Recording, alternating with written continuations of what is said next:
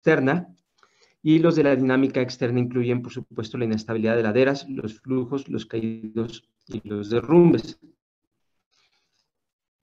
Hemos planteado que estos eh, movimientos gravitacionales o inestabilidad de laderas, pues tienen que ver en primer lugar con la gravedad, es decir, la gravedad tiene un efecto importante al generar una fuerza motora que trata de mover el material, ya sea suelo o roca, y por otro lado hay diversas fuerzas resistentes que lo detienen y evitan el movimiento. Hemos planteado que existen diferentes tipos de suelos.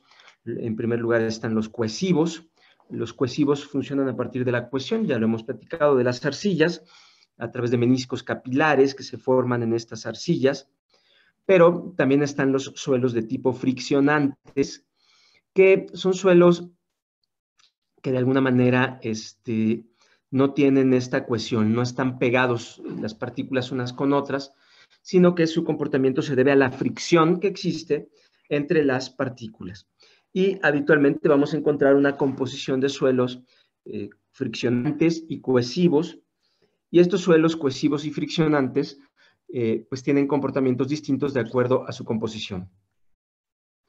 Hemos planteado que los suelos cohesivos son muy afectados por el agua porque el agua rompe los meniscos capilares y además el agua incrementa el peso del suelo porque se absorbe el agua y por otro lado, bueno, vamos a ver parte de este, de este tema, como el agua también lo que hace es lubrica o, debilita la eh, unión en, en, la zona de falla. Hay una superficie de fractura que puede ser eh, recta o puede ser curva, pero este contacto que hay entre estos dos, cuando entra el agua, el agua también, además de que aumenta el peso, reduce la resistencia, por romper los meniscos capilares de los suelos cohesivos, eh, genera un efecto también en la superficie de falla que facilitan el deslizamiento. Es decir, reduce la fricción que hay en estas zonas, que son las que de algún modo detienen eh, estas masas de suelo. Entonces, eh, regreso a esta idea de por qué son suelos cohesivos, pues porque la cohesión que existe entre las partículas eh, del agua genera meniscos capilares con una superficie este, que sirve como unión y estos meniscos capilares es como cuando colocamos una gotita de agua en medio de dos cristales, se pegan. Pero cuando este, están pegados y le ponemos un poco más de agua, el agua entra y entonces se rompe la tensión superficial del menisco capilar. Acuérdense que el menisco capilar es, una especie de cohesión fuerte que genera una cuerda que une los dos cristales y los jala hacia sí mismos. Entonces, cuando entra el agua, el agua rompe la tensión superficial de estos meniscos capilares y por lo tanto esas mm, cuerdas eh, milimétricas, este, eh, más bien esas como, como uniones de la eh, superficial se rompen, se rompe el menisco capilar y entonces se separan las partículas. Evidentemente esto ocurre, ahí tenemos unas caulinitas, eh, bien saben ustedes y lo hemos platicado, que las caulinitas son cristales que son parte del proceso de la hidrólisis, hidrólisis de los feldespatos.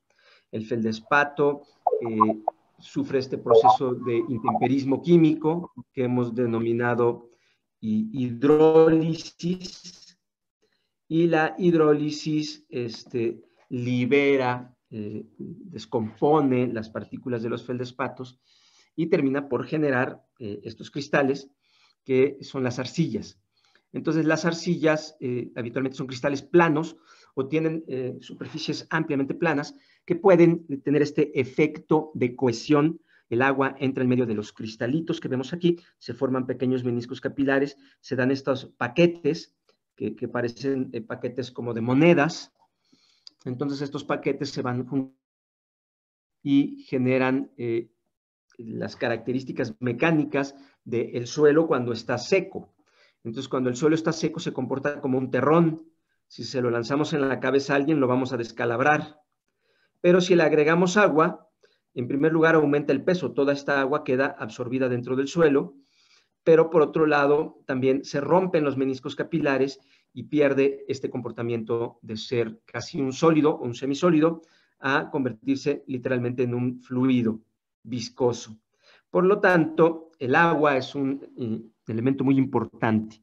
Vamos a eh, seguir avanzando sobre esto.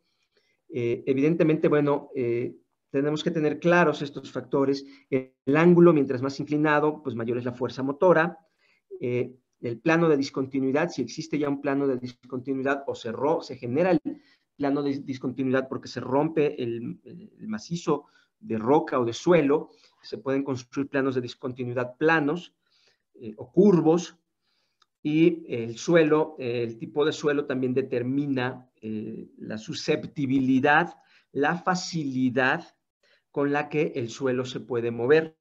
Entonces, la inclinación es importante, la pendiente, el tipo de suelo, las discontinuidades, ya sean por eh, que existen estos planos o también porque existen diaclasas. Las diaclasas ya lo hemos dicho, es la roca que está fracturada, está en su mismo lugar, pero está fracturada entonces puede haber estratigrafías, es decir, capas, estratos o diaclasas, y eso en conjunto va generando las condiciones de susceptibilidad, la facilidad con la que la ladera podría deslizarse. Y aquí vemos el efecto de la estratigrafía. Podemos observar este, que, bueno, aquí tenemos un anticlinal tipo chevron, es un anticlinal tipo chevron, donde sus flancos pues están prácticamente verticales.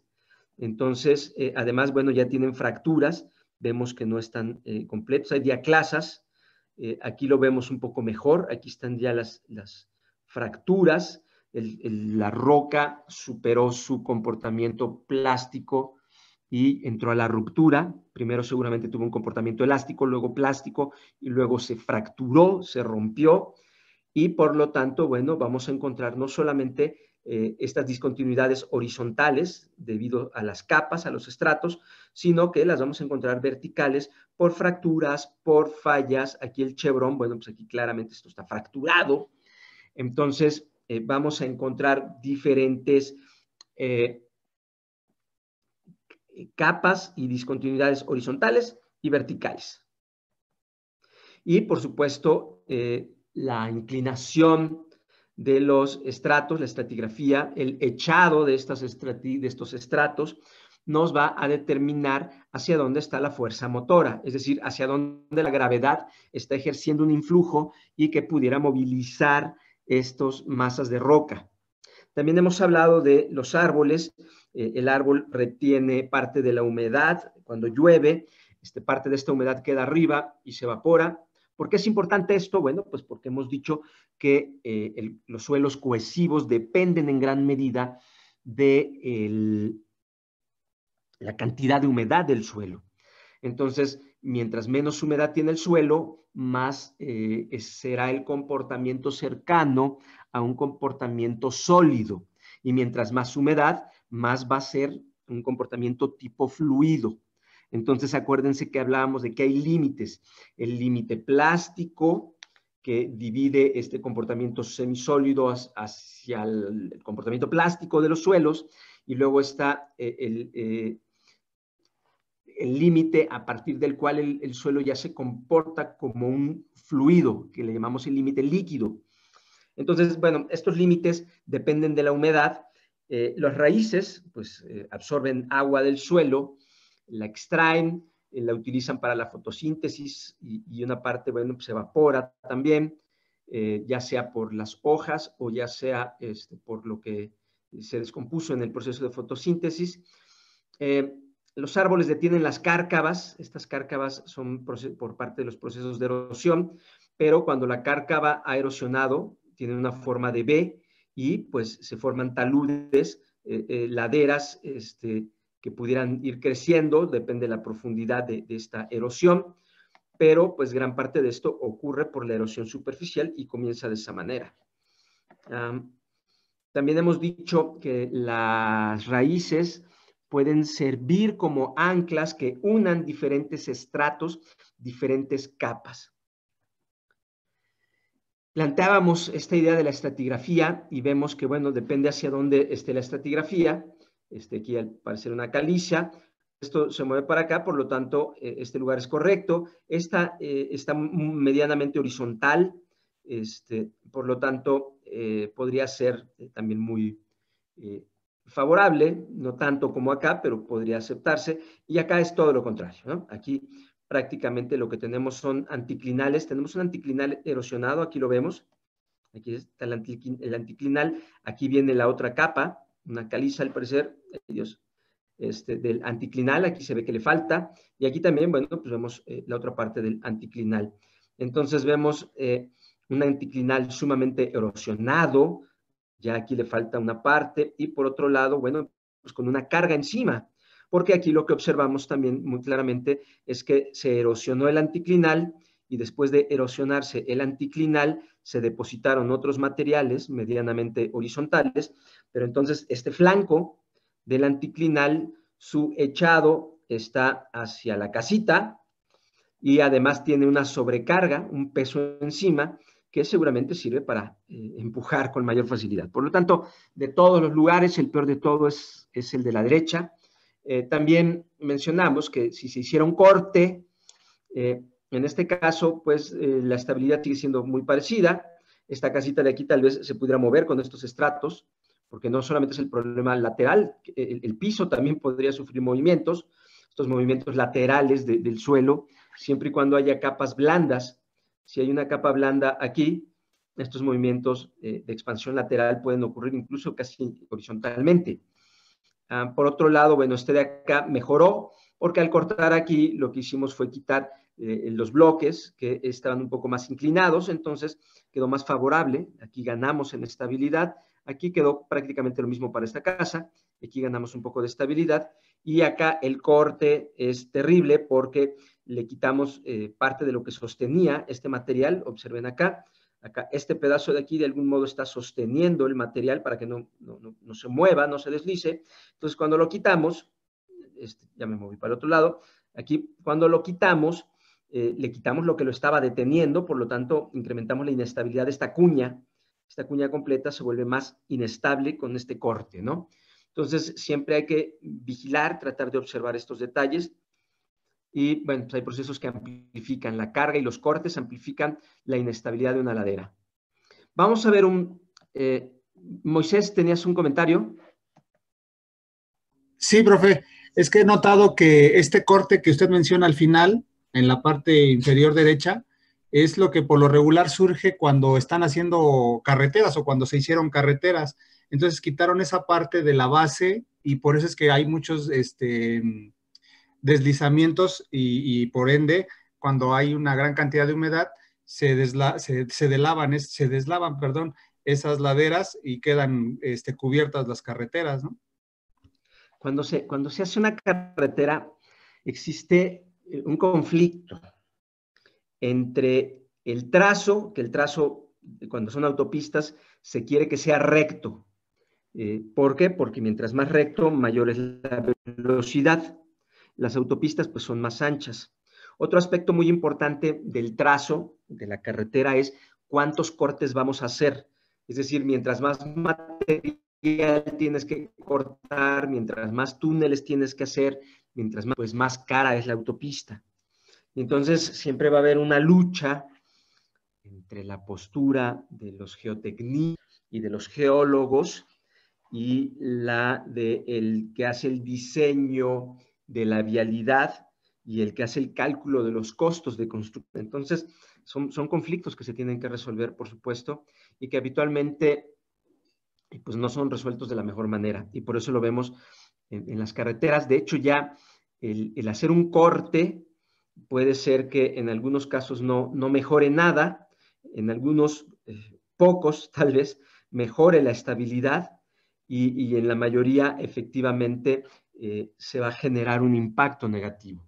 Y, bueno, se tiene que crear una cosa que se llama traumaterapia de macizos rocosos.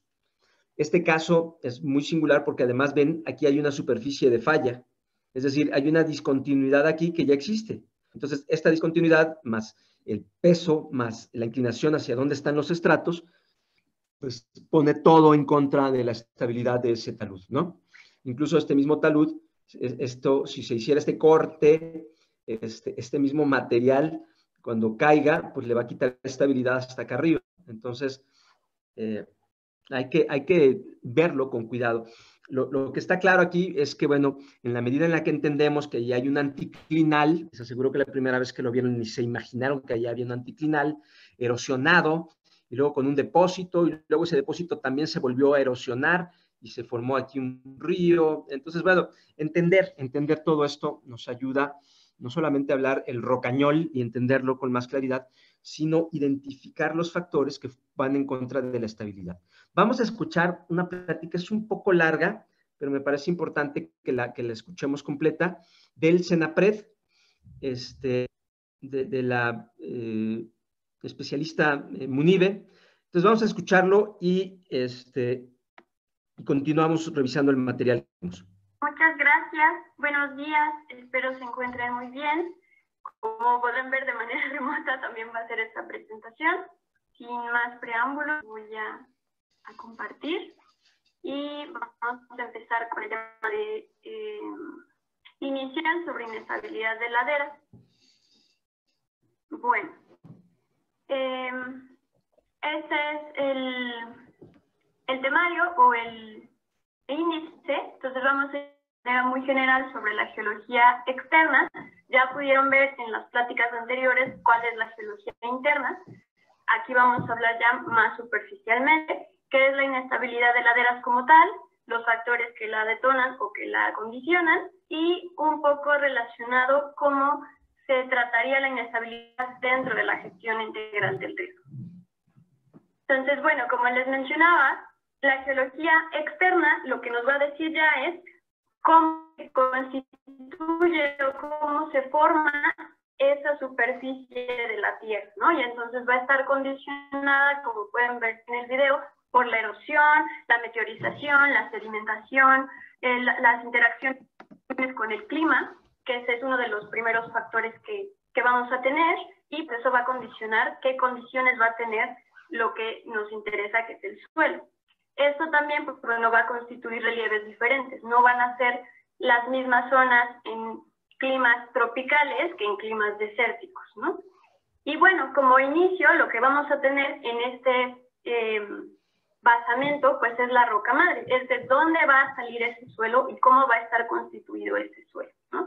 El segundo paso, pues bueno, con el tiempo, esta roca madre va a empezar a erosionar, se va a empezar a segregarse, se va a transportar y finalmente lo que nos va a dar paso es al suelo, que además de tener componentes em, minerales propios de la roca de origen, pues también lo que vamos a tener ya es la vegetación, animales, y esta interacción que también tienen estas especies, pues también va a ir condicionando y erosionando ese suelo.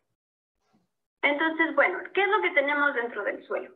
Dentro del suelo vamos a tener también una granulometría, es decir, las partículas más pequeñas que va a contener esta capa superficial. Entonces, en este zoom, como pueden ver en la flechita roja, lo que tenemos es cómo está constituida esa capita superficial, ¿no? Solo están las partículas, ya sea que serían las de intermedio, y los vimos que son partículas mucho más pequeñitas, también lo que tenemos aquí son espacios que van a estar ocupados ya sea por aire, como tal, que sería la fase gaseosa, o sea, poros vacíos, o vamos a tener una fase líquida o poros con agua. Esto es muy importante tener en cuenta, ¿por qué? Porque no solo tenemos vegetación y roca, también tenemos agua, y esta agua va a condicionar mucho la inestabilidad de la ladera.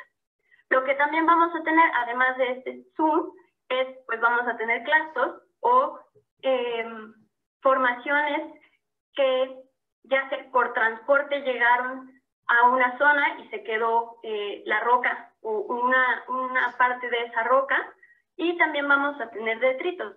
Los detritos ya va a ser una eh, mezcla entre eh, arcillas, arenas, limos y pedacitos de roca no consolidados. Los detritos quiere decir que es un suelo no consolidado. Esto quiere decir que no está mayormente en partículas de arena que vivimos, sino hay diferentes tamaños, ¿no? Vamos a continuar. Y bueno, esto es lo que va a formar nuestras laderas o taludes. Es importante tener en cuenta esto porque, porque cada ladera y cada talud va a ser diferente. Independientemente de dónde se encuentre, sus características van a determinar en el que se encuentra. Entonces, bueno, ya iniciando qué es la inestabilidad de laderas, pues tenemos que es cuando se pierde el equilibrio o, o esta ladera y lo que va a hacer es separarse en un plano de fricción, deslizándose hacia abajo por gravedad. Entonces, tenemos que una condición estable sería que hay una buena fricción, hay una buena fuerza, el peso no es excesivo, está estable y tenemos sedimentos secos. ¿Qué va a suceder si yo a esa pendiente o a ese talud le aumento la, la inclinación? Entonces va a perder fricción, va a perder fuerza, no hay estabilidad y se. Otro factor que también es importante es el peso. Y este peso, ya sea por una estructura o por alguna construcción, naturalmente quien le va a aumentar el peso a nuestra ladera es el agua. Y entonces si tenemos un cambio en el contenido de agua dentro del suelo, ya sea por lluvia o por alguna fuga de agua o alguna otra fuente de agua, lo que vamos a tener es igual, menor fricción, menor fuerza y mayor peso. Entonces, esto va a favorecer más a que ceda por gravedad y entonces comience una inestabilidad. Les voy a hablar rápidamente de cuáles son los componentes que siempre vamos a tener en una inestabilidad de ladera o en una ladera, ¿no? Entonces, inicialmente, pues bueno, nos paramos frente al deslizamiento o frente al, al, al pendiente y lo que vamos a tener es eh, la corona, ¿no? Que es donde está el rompimiento inicial de, este, de esta inestabilidad. En esta foto pueden ver aquí eh, la corona y bueno, pues el deslizamiento que se llevó aquí una casa. Vamos a tener también un cuerpo principal que va a ser la zona donde generalmente van a estar los hundimientos y la mayor parte de los agrietamientos. Vamos a tener un escarpe principal dentro del cuerpo puede haber otros escarpes, entonces serían escarpes secundarios. Y bueno, también vamos a tener agrietamientos verticales, horizontales, y estos pues también pueden continuar con el movimiento ladero. Aquí les muestro un ejemplo de mm, deslizamiento de la carretera Tijuana-Ensenada. Y finalmente, ah bueno, les muestro aquí unos agrietamientos. Finalmente pues vamos a tener dónde se va a depositar esa eh, masa y a eso se le conoce como el pie o punta y lo que va, todo ese material se le va a conocer como la zona de acumulación. Es importante tener en cuenta que la punta o pie pues va a variar dependiendo los tipos. Entonces, bueno, es importante tener en cuenta que la ley general establece la importancia de estudiar los fenómenos geológicos y en específico la inestabilidad de ladera, pues porque lo considera un agente perturbador directo que puede causar muchísimo daño a la sociedad y pone en riesgo su integridad y la vida como la conocemos. Dentro de la ley general hay tres clasificaciones. Se las puse nada más aquí así, porque esto es lo que considera la ley, ¿no? pero en realidad podría uno tomar metodología diferente o un autor diferente y puede encontrar muchas otras categorías. No quiere decir que esto nos limita a poder entender los procesos, no. Dependiendo el autor y dependiendo la literatura que se escoja, pues los tipos de inestabilidad que va a tener. Generalmente se clasifican por su velocidad, por su contenido de agua, por el contenido del material, entonces, lo que voy a tratar ahorita es de hacerles un resumen de cómo cada una de estas eh, inestabilidades está constituida. En, em, el pie de la presentación les dejo algunas de las fuentes consultadas para que ustedes también se den cuenta, pues que no es solo eh, la ley quien dice que están estas clasificaciones. Nuestra primera clasificación serían los caídos y derrumbes de rocas, comúnmente ya los, los han visto porque todo el mundo ha pasado por una carretera, pues son abruptos, es un desprendimiento o un vuelco o un de roca o clatos. sea, pedacitos de roca. Estos, pues bueno, se suceden básicamente en pendientes muy inclinadas, como la que podemos ver aquí de Durango. Este es un caso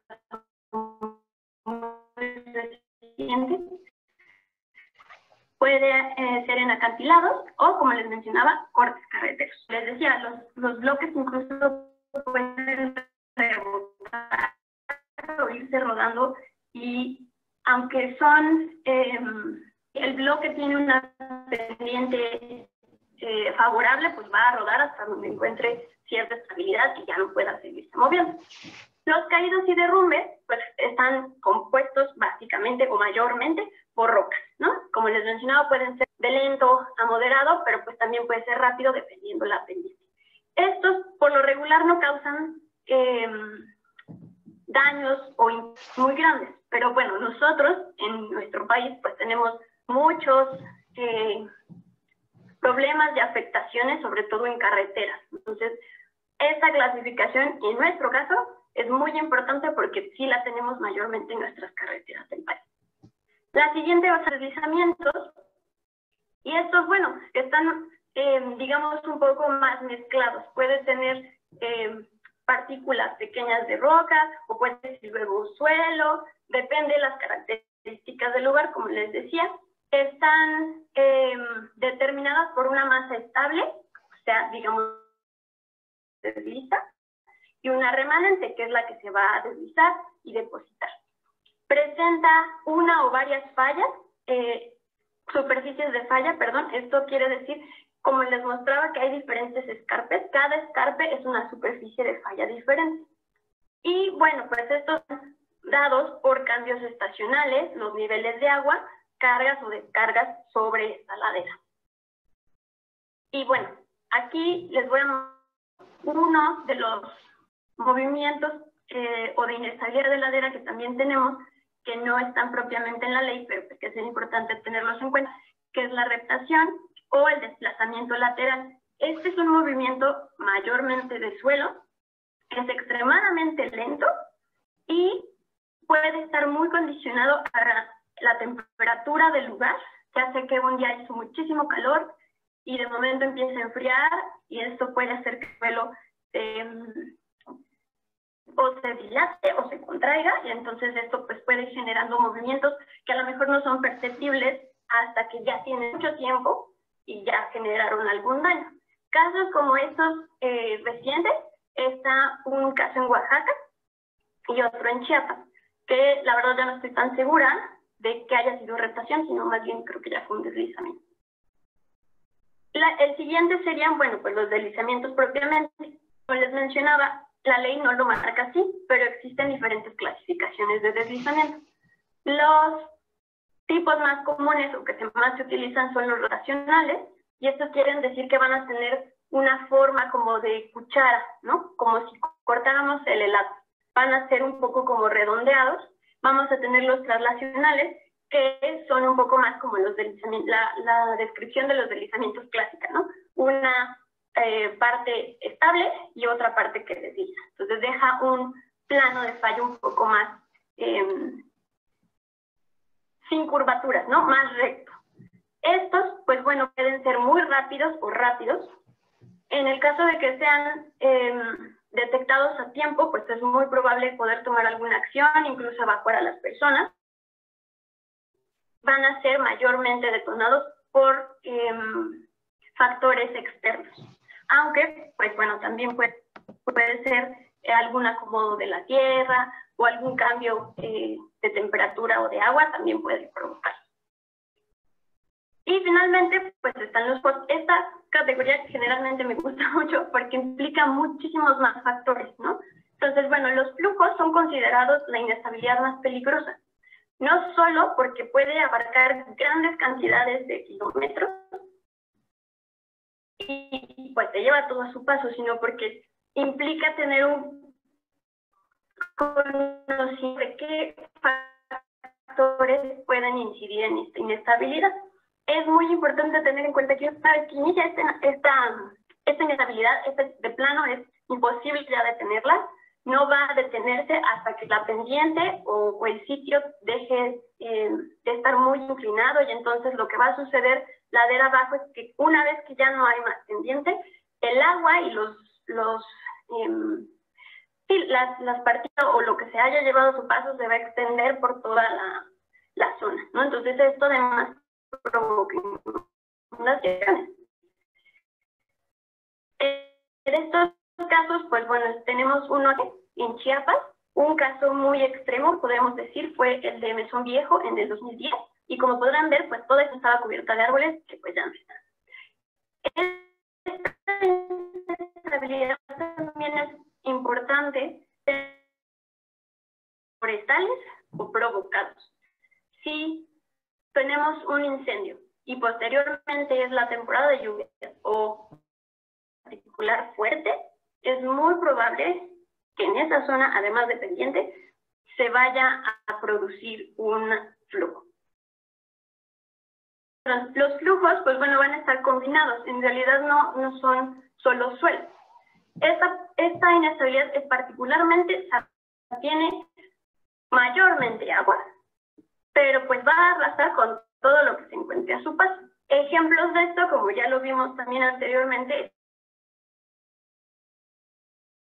de volcanes y lluvias fuertes, ¿no?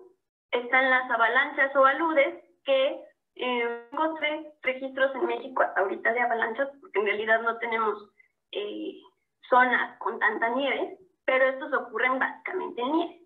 Y pues bueno, los flujos de escombros, que estos son más conocidos, la imagen que, que se puede ver ahí es de Veracruz. Y como les decía, estos son extremadamente rápidos, muy rápidos. Estos no se pueden eh, detener de ninguna manera o, tener eh, la, la, posibilidad como con los deslizamientos, ¿no? Empiezo a ver indicios, eh, empiezo a oír ruidos la de arriba, entonces puedo quizá tomar alguna medida, ¿no? Que con estos, una vez que empiezan, ya no hay cómo detenerlos. Una categoría también especial que quiero mencionarles aquí es los complejos, que es una mezcla de varias inestabilidades. Puede ser, como el caso más famoso que tenemos es Patintada, ¿no? En Guerrero. Empezó como un deslizamiento, pero había tanta agua porque ya había llovido consecutivamente muchos días y lo que produjo después fue un flujo, que fue lo que terminó eh, dañando mayor, mayor parte de la comunidad, ¿no? Entonces, hay que tener en cuenta que puede iniciar como, como un caído incluso o, o un deslizamiento que quizá no se vea tan peligroso, pero dependiendo de las condiciones externas, pues también puede convertirse en otra inestabilidad que sea incluso más mortífera, ¿no? Los, em, la inestabilidad compleja, pues es lo que más causa daños. Y bueno, vamos a entrar ya a cuáles serían los factores que van a determinar o condicionar esta mm, inestabilidad, ¿no? Es muy importante tener en cuenta aquí que los factores condicionantes internos o intrínsecos van a ser la, la principal causa de nuestras inestabilidades. Entonces, para eso vamos a tener varias categorías es bueno que las eh, contemplen una vez que vayan a ver un deslizamiento. Está la pendiente, 100%, como ya les había dicho, la vegetación o la vegetación, el suelo, qué tipo de suelo, en qué ladera se encuentra, eh, si está muy erosionado, si está muy húmedo. El agua, el agua, pues como les decía, está dentro del, suelo, ¿no? Es parte de la, de la conformación del suelo. Y esto quiere decir que tengo que estar al pendiente de cuántos días ha llovido, si hay una fuga de agua, eh, cuestiones a lo mejor más técnicas, el nivel freático, dónde se encuentran los niveles de agua dentro de mi ladera. Es importante contemplarlo para saber qué tan saturado o no está nuestro suelo las características geológicas, por supuesto, qué tipo de roca, eh, si hay alguna falla geológica dentro de, esa zona donde estoy haciendo mi estudio, y las cuestiones estructurales que tienen que ver con estas fallas, si hay discontinuidades, hacia dónde están las discontinuidades, si hay cambios de litología bruscos. Esto va a ser muy importante porque, porque de esta manera vamos a poder determinar hacia dónde se puede ir incluso el, el deslizamiento o el caído, ¿no? o si hay muchas fracturas ya dentro de esa eh, pendiente o dentro de ese acantilado, entonces poder determinar qué bloques o no podemos tirar incluso para evitar que caigan o que rueden. Es muy importante este factor, ¿por qué? Porque aquí es donde está la reducción de la resistencia de nuestra ladera. Entonces, la pérdida de esta condición va a determinar la calidad de ese, de ese suelo o de, de ese talud o de esa ladera. Este también es importante, porque porque los factores condicionantes nos van a determinar la susceptibilidad de nuestras pendientes, de nuestras laderas o pendientes. Entonces, es muy importante tener en cuenta que la susceptibilidad es la propiedad del terreno para indicar si es favorable o desfavorable el estado en el que se encuentra. Es decir, como la sensibilidad de esa, eh, de esa ladera, ¿no? Y es muy sensible al agua, entonces cada vez que llueve voy a tener problemas. Entonces, una vez que ya determinamos uno o varios de condicionantes, podemos nosotros generar un mapa de susceptibilidad que va a ser el análisis de estos factores, cómo son propensos a la inestabilidad o no, ¿no? Y esto, bueno, depende de cada zona y depende de cada inestabilidad. No voy a considerar los mismos factores para deslizamientos, que para rocas, ¿no? O caídos o derrumbes, no va a ser igual. Entonces, aquí es muy importante por eso considerar los factores que les muestro de colores. Lo siguiente que vamos a tener son los factores desencadenantes externos o detonantes.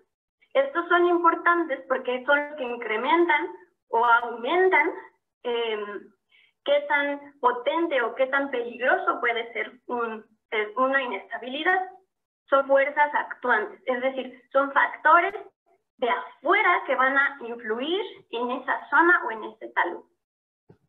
Y esto lo que nos va a dar son el peligro, ¿no? O los peligros. A estos factores son a los que realmente se les asocia el peligro. Entonces, una vez que yo tomé mis consideraciones para hacer la susceptibilidad, lo siguiente que tengo que hacer es un mapa de peligro. ¿Por qué? Porque aquí voy a poder realmente determinar el valor de la probabilidad para que ocurra esa inestabilidad. Per se, la ladera puede mantenerse estable mucho tiempo, pero si a esa zona ya le cambié el uso de suelo, ya me llovió, em, ya talé los árboles, hice un edificio y no consideré ciertas cosas, eso es lo que va a incrementar el peligro. Entonces, la susceptibilidad me va a decir qué es lo que puede pasar, cómo está, qué tiene, y el peligro lo que me va a decir es incluso cuándo ocurren estos fenómenos y yo estar mejor preparado. ¿Por qué? Porque el mapa de peligro también nos va a dar los periodos de retorno. Los periodos de retorno para qué? Para lluvias, para sismos, en dado caso que eh, los eh, incendios sean muy constantes, o sea una zona donde los incendios forestales naturalmente se, se producen, pues entonces considerar cada cuándo se presentan y entonces poder hacer bien mi mapa de peligro. Los mapas de peligro tienen que ser legibles para cualquier persona. Sí, llevan un alto contenido científico técnico, pero tienen que ser entendibles para cualquier persona. ¿Por qué? Porque solo de esta manera vamos a tener la manera de planificar mitigar y explicarle a la gente qué es lo que puede ocurrir, ¿no? Y en qué zona de peligro me encuentro. O sea, la gente que generalmente vive en zonas de bajo peligro e inestabilidad, a veces hasta puede decir, ay, pues si estoy en bajo, no me importa. No, sí importa. O sea, el hecho de que estés en bajo no significa que la de arriba, que sí tiene una, eh, un peligro alto, no pueda ocurrir un flujo. A, lo mejor está marcando allí qué zona de deslizamiento, pero que te dice que en algún momento ese deslizamiento se convierte en flujo. Por eso son importantes los mapas de peligro. Y bueno, vamos a tener cuatro tipos en específico de detonantes, ¿no? La sismicidad, el vulcanismo, como ya lo vimos, los fenómenos hidrometeorológicos, huracanes, lluvias, em, tormentas puntuales, eventos extremos, Y obviamente, pues son los que más nos importan a nosotros porque son los que más afectan al país, como se puede ver en la imagen, ¿no? Estos son incluso en un periodo determinado, en zonas muy específicas. Y finalmente, pues vamos a tener la, eh, pues la que me parece a mí la más importante de los factores, pues los antropológicos o los humanos. ¿Por qué? Pues porque nosotros a veces, sin considerar ciertas características condicionantes, hacemos acciones, construimos, em, cambiamos el uso del suelo y esto pues puede eh, em, exacerbar o acelerar los procesos de inestabilidad. Les voy a mostrar unas imágenes rápido. Este es un caso en Oaxaca del sismo eh, de este año, después del, del ocurrió un caído o derrumbe de rocas sobre una carretera. La imagen del volcán de Colima, que es de donde más tenemos eh, información sobre los lajares.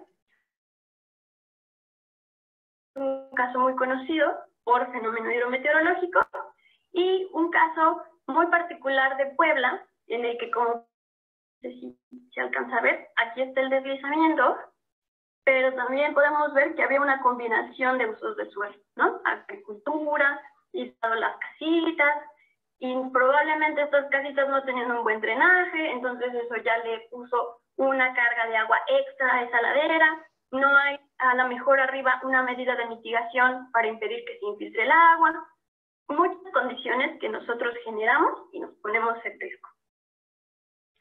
Bueno, les voy a hablar rápido de, la, de los indicativos o algunos de los síntomas que puede haber eh, previos a una inestabilidad.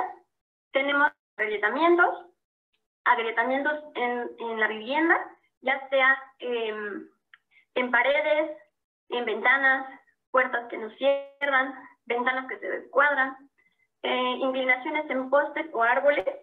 Les voy a ir pasando las, imágenes.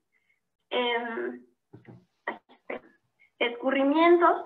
Con los escurrimientos me refiero a, puede haber zonas o, em, sí, en la parte sobre la ladera que empieza a haber agua, ¿no? Nunca había agua y de momento hay charquitos o empiezan a caer como, a caer como riachuelitos, ¿no?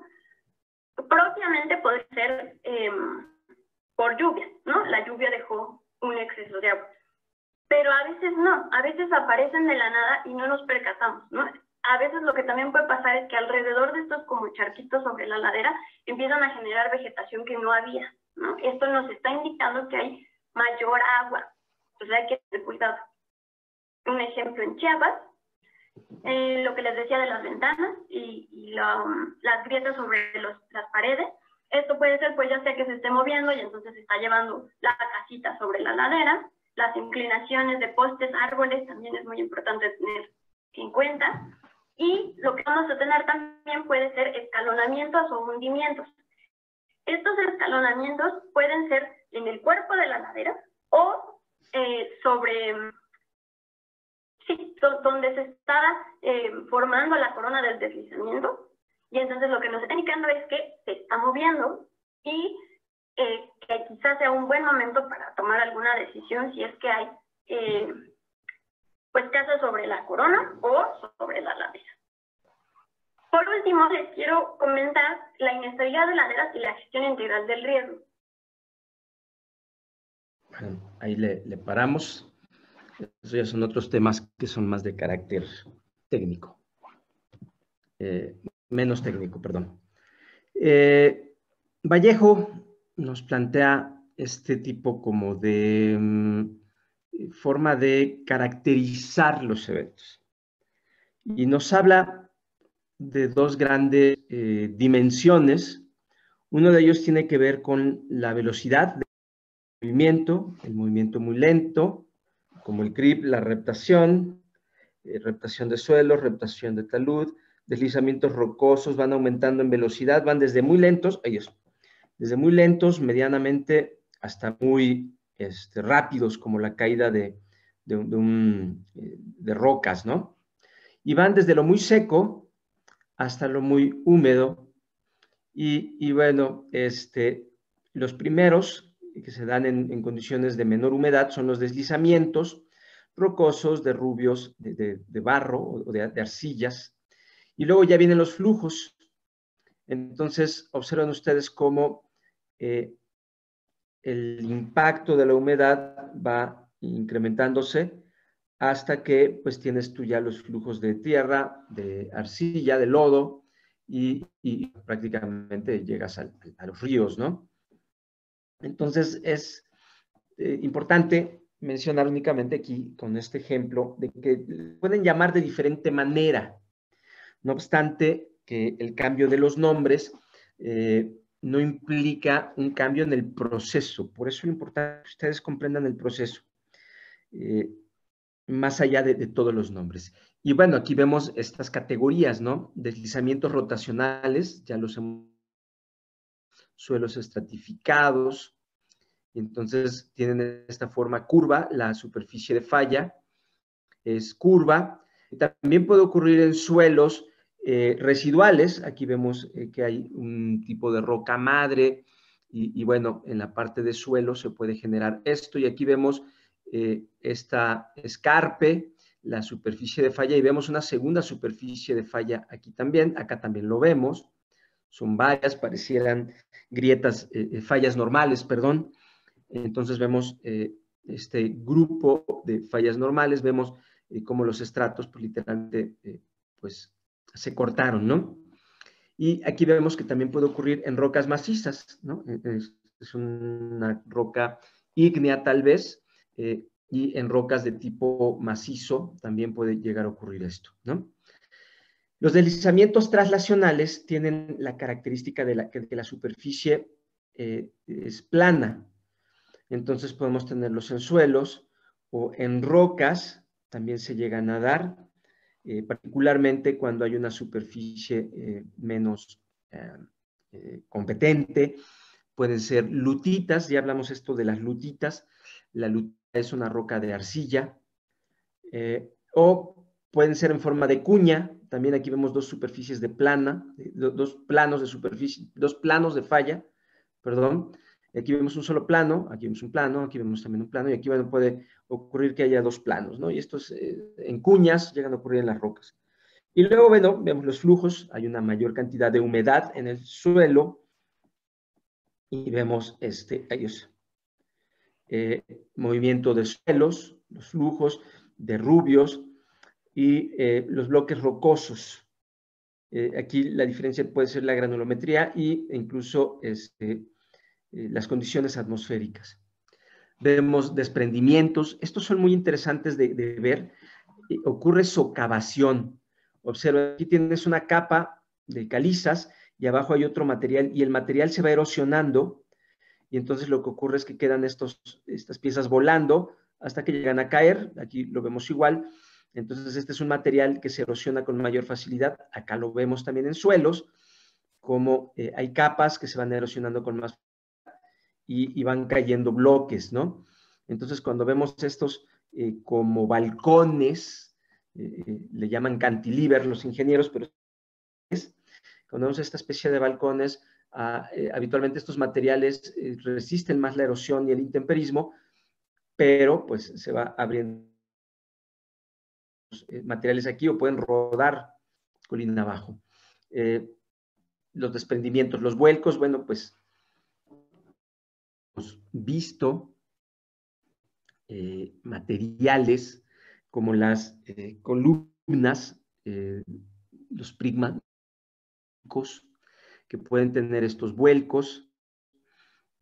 también ocurre en suelos, hay suelos muy parecidos a las tobas, son estos materiales producto del intemperismo de los materiales volcánicos, eh, este tepetate como dos columnares, entonces podemos ver alrededor de, del Valle de México estos comportamientos. Y hay algunos que son ignimbritas, producto de lares y de, avalanchas ardientes, que al, enfriarse, pues toman estas formas columnares y con el tiempo este, pueden caer de esta manera, ¿no? Eh, son vueltas. Tenemos avalanchas, avalanchas, este, aquí lo vemos en forma de B, si se dan cuenta que hay una superficie en B y aquí más de carácter tonal. Y los deslizamientos laterales están habitualmente eh, definidos por una superficie muy plana, muy, muy, blanda. Entonces, estar horizontal, o sea, se dan cuenta que casi no hay inclinación. No obstante, sí llegan a tener movimientos con estos pequeños eh, desplazamientos. Son muy raros los laterales este, así horizontales. Em, bueno, aquí vemos, ya lo habíamos visto la vez pasada, caídos, uh, derrumbes, vuelcos. Em, este material particularmente rueda a gran velocidad.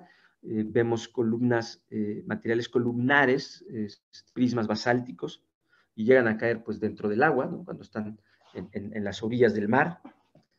Aquí vemos este, deslizamientos rotacionales, lo hemos visto varias veces, hay un escarpe principal, hay escarpes secundarios, aquí tenemos el, cuerpo principal, aquí se forma un sinclinal y luego un anticlinal, un U y una A, entonces habitualmente cuando encontremos eso, eh, podremos notar que tiene esas formas circulares, cuando vemos laderas, cuando vemos imágenes y, son viejos. ¿Por qué es importante esto?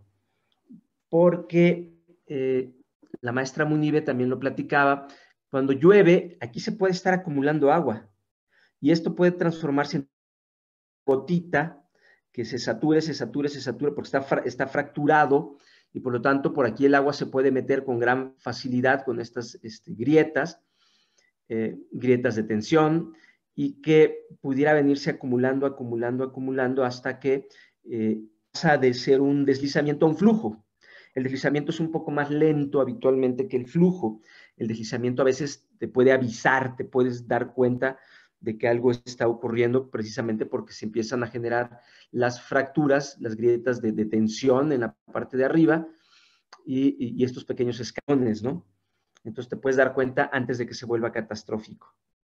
Veamos diferentes ejemplos de cómo se comporta esto. Entonces, en primer lugar, eh, si le agregamos agua, observen cómo se llena de agua acá abajo, hasta que el agua lubrica la superficie ya previamente fracturada y el material desliza para arriba. Entonces puede ser que ya se haya dado un pequeño movimiento y posteriormente puede repetir. Vamos a verlo de nuevo. Entonces ya ahí vemos una superficie de falla, pero cuando le agregas el agua, el agua sirve, separa la superficie de falla y hace que gire. ¿Qué podemos hacer para evitar esto? ¿no? Entonces el agua, es, eh, además de incrementar el peso, también tiene un efecto en la superficie de falla, en la superficie ya fallada. Veamos qué se puede hacer. Observen lo que hay aquí, un dren. Entonces si tú aquí colocas drenes, y esto ya falló, y colocas drenes, el material fluye y no alcanza a generar una presión tan alta que eh, empuje la inestabilidad.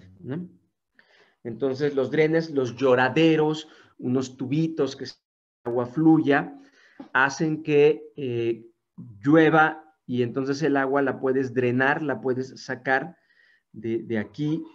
Y, bueno, eh, esa es una técnica que se utiliza para estabilizar también los taludes, es decir, no permitir el talud acumule más agua sobre todo en condiciones extremas de lluvia, y vemos que finalmente el dren logró que eh, no se presentara el movimiento. Vamos a ver otro más. Otra alternativa es colocar un contrapeso, es decir, si tú colocas eh, un peso aquí, este peso lo puedes colocar con un muro de gaviones, lo puedes colocar con tierra, puedes utilizar también tierra, aquí un terraplén, que se llaman bermas, entonces puedes hacer ese tipo de técnicas y veamos qué ocurre. También se calculan, por supuesto, no, es de cualquier tamaño. Agregan el agua, eh, el agua sube y seguramente va a llorar por la superficie. Miren cómo está llorando aquí. Aquí. Ahorita lo repetimos, pero en ocasiones está lloviendo, está entrando el agua y vemos cómo llueve y cómo sale por las superficies de falla o se va filtrando el agua. Véanlo de nuevo. Eh, observen este punto aquí cómo empieza a llorar la ladera. Entonces, cuando tiene mucha agua, de repente empieza a fluir y el peso, el contrapeso de esa berma o ese contrapeso que le pusieron ahí, evitó que se moviera. Aquí está un ejemplo, ¿no? Tienes una ladera que está inestable, le puedes meter este, muros de gavión o un muro de concreto, bueno, pues es otra cosa, ahorita lo vamos a platicar, como hay unas cosas que los puedes clavar aquí y, pueden funcionar también. Este es el otro caso. Yo coloco, en este caso escogieron una pluma, un bolígrafo, pero eh, coloco eh, aquí ataguías, así se les llama a estos, es como un muro, pero es un muro que está eh, clavado al fondo de la roca o del suelo, Entonces, este, puedo meter esta clase de muros que no funcionan por gravedad, las otras funcionaban por su propio peso, o sea, las tuercas funcionaban por su propio peso, aquí funciona porque está, eh, está clavado hacia abajo, es decir, eh, eh, está hincado hacia abajo, entonces este hincado acá abajo, este, pues ayuda a, detener la inestabilidad. ¿Cuándo se hacen estas obras? Pues en época de sequía, ¿no? Por supuesto, este, cuando estamos eh, en época de estiaje, más que de sequía, perdón, en época de estiaje, se pueden hacer estas obras. Entonces vamos a ver otro caso. Aquí vemos, ¿no? Este, aquí está la ladera. Este, aquí nos dicen que es estratigrafía, hay un suelo residual. Eh, acá está, seguramente, acá hablan de una lutita, es, decir, es una capa de material este, sumamente eh, inestable, porque la lutita cuando le agregas agua también va perdiendo resistencia. Entonces, bueno, aquí lo que tenemos es eh, eh, unos bloques, esto podría ser un muro de gavión, este, sí, aquí lo plantean como muros de gavión, este, ¿qué, es, es el muro de gavión? Es como una jaula llena de, piedras, ¿no?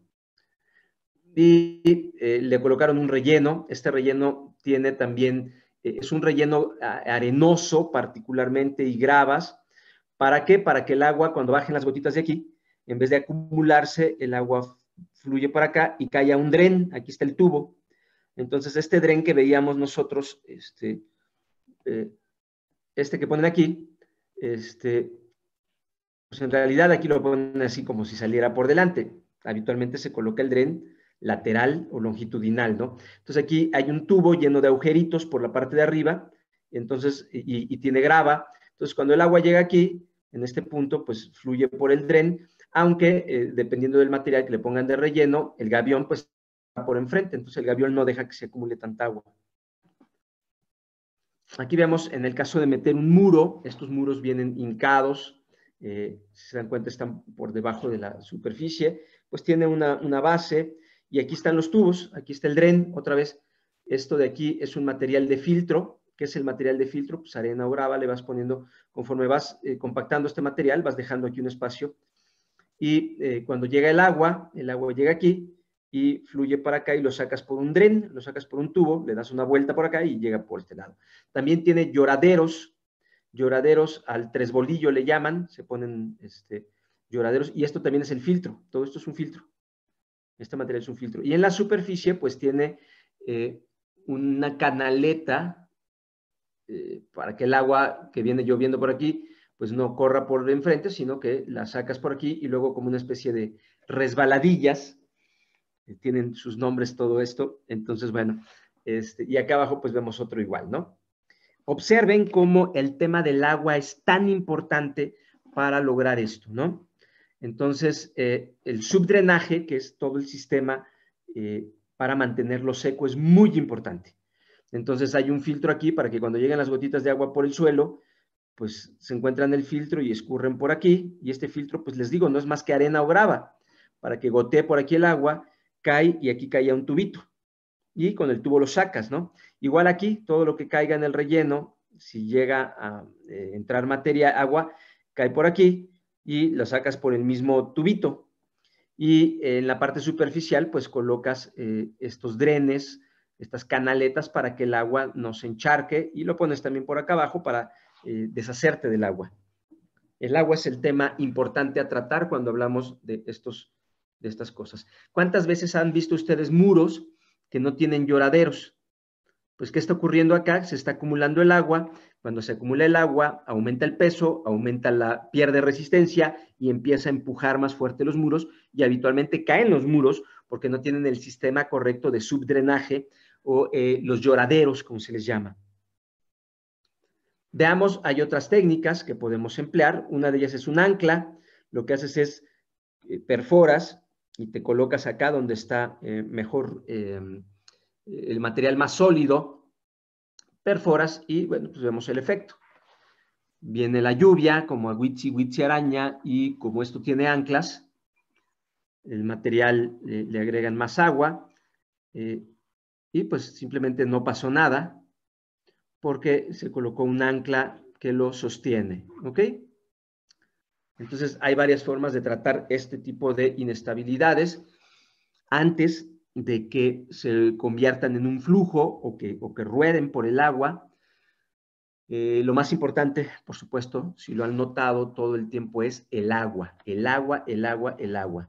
Este, eh, ahora, en la actualidad, los puentes vehiculares tienen lloraderos en algunas sí, todos, todos tienen lloraderos. Y no es nuevo, o sea, esto estamos hablando de ingeniería geotécnica muy antigua y siempre eh, se utiliza esto, ¿no? El agua es canija y por lo tanto hay que saber cómo funciona y cómo se meten en, las partículas de, del suelo y rompe meniscos capilares. Y todo lo que platicamos fue para que a ustedes les quede claro la importancia que tiene eh, lidiar con el agua por un lado, y poder poner otros elementos mecánicos que sostengan, ¿no? Entonces, lo ideal aquí es meter drenes para que el agua salga. Ya vimos que los drenes no son este tubito que sale por acá necesariamente, y que puede haber drenes acá o acá, los puedes meter lloraderos, perforas y esos lloraderos. Eh, y por otro lado, bueno, pues puedes meter elementos mecánicos como anclas, como gaviones, como bermas, eh, que detengan eh, la ladera. Entonces aquí vemos este, estas son eh, calizas, al parecer, la, simbología nos hace pensar que son calizas. Y, bueno, hay una superficie de falla, ¿ya la vieron? Y además de la superficie de falla, observamos que eh, la inclinación de las calizas es desfavorable. Es decir, la estratigrafía es desfavorable a la estabilidad. Y entonces, bueno, pues nuevamente eh, se pueden instalar, en este caso son anclas. ahorita vamos a ver cómo funcionan estas anclas eh, hay anclas de punta, eh, estas funcionan de punta, tienen aquí una una cabeza que, detienen, y hay otras que les llaman anclas de fricción, y la de fricción lo único que hace es une todas las piezas, las hace trabajar juntas. En este caso, dada las circunstancias, dada la inclinación, eh, pues son anclajes permanentes de punta y habitualmente tienen que atravesar varios estratos para amarrar las piezas para hacerlas trabajar en, equipo y entonces haces que todo esto se convierta casi en un muro de contención.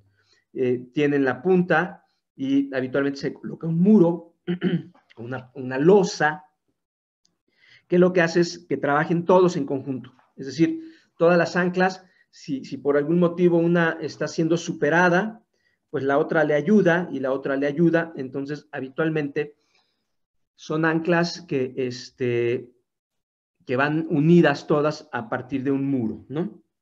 Y aquí vemos un ejemplo claro. Ahí están todas las anclas para mantener estable este talud. Es un talud que por motivos eh, de no moverle más tierra, lo hicieron muy vertical. Si se dan cuenta, esto está muy vertical.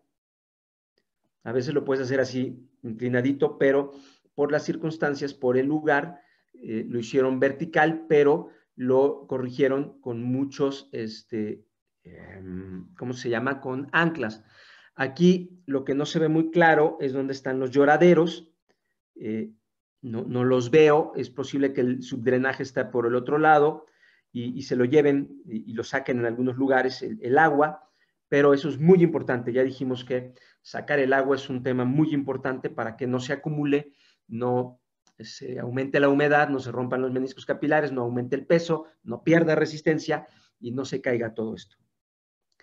Hay otros tipos de remoción, los de los deslizamientos traslacionales, que tienen una superficie de falla, aquí la marga, eh, son calizas y abajo hay una marga que es más suave y que, bueno, este, se mueven los bloques en una superficie que no es curva, sino que es plana, pero aplica prácticamente las mismas metodologías. ¿Qué podemos hacer con esto? Lo podemos anclar, perforar para que quede acá abajo, le podemos meter drenaje, subdrenaje, eh, hay muchas, muchas técnicas. O de plano, por ejemplo, una cosa como esta, si es tan grave y tan delicada y la autopista es muy importante, el ferrocarril, meto dinamita y lo tiro todo, me lo llevo. Entonces, bueno, depende. Lo ideal es, si, si, tú vas a hacer una carretera y ves esto, dices, por favor, denle la vuelta, vámonos por otro lado, es incorrecto meternos por ahí, o si nos metemos nos va a salir carísimo lograr estabilizar todo eso, ¿no? Veamos este otro. Aquí lo que observamos, estas son tuercas, me encantan estos ejemplos tan simples, eh, y eh, aquí vemos eh, que hay una superficie, no es, no es plana necesariamente, es semicurva. lo que hacen es, van levantando estos como un pizarrón, entonces conforme lo levantan, aumenta la inclinación. Entonces vamos a ver qué hacen estos amigos japoneses particularmente. Le voy a bajar el volumen, no creo que quieran traducirlo en este momento, entonces, por si hay algo que comentar. Ah.